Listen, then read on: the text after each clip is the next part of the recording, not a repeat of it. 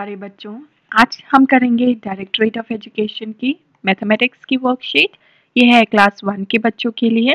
यहाँ अपना नाम, यहाँ अपने टीचर का नाम लिखेंगे।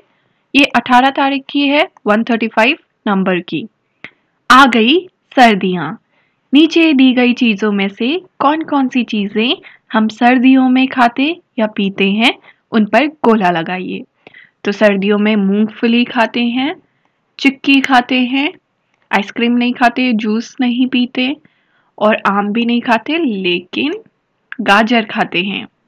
अगला, सर्दियाँ शुरू होते ही सारा और महक अपनी मम्मी से मूंगफली मांगने लगती हैं।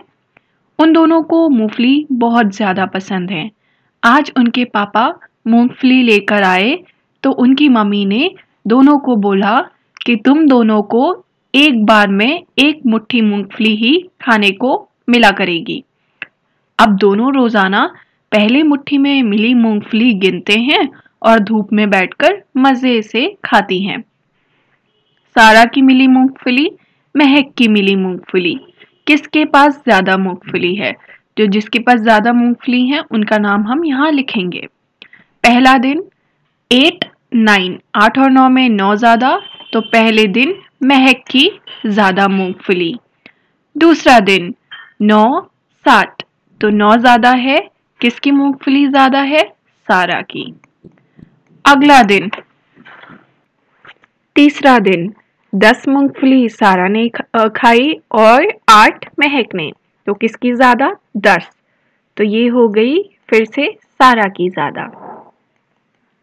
चौथा दिन। नौ सारा की और दस महक की।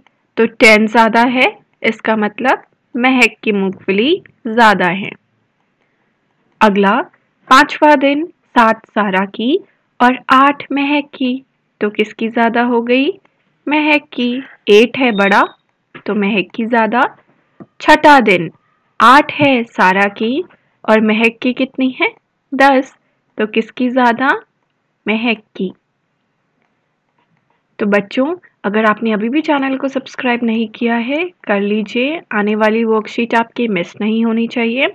मम्मी पापा के लिए सुझाव, बच्चों को बताएँ कि मौसमी फलों और सब्जियों में उस मौसम के लिए आवश्यक सभी पोषक तत्व पाए जाते हैं। अतः हमें मौसमी फलों और सब्जियों का सेवन भरपूर मात्रा में करना चाहिए। और कोविड से बचने के लिए मास्क ज़रूर पहने। बाय बच्चों।